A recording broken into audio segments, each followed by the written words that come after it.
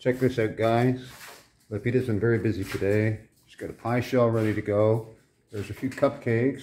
She did this big cake. She did another guayaba pie that's already been delivered. She did these cupcakes. She's got more frosting ready to go. Muy Lupita? And down here, these pink cupcakes, more waiting for frosting. All these little cups, she's got jello made for them, for jello desserts.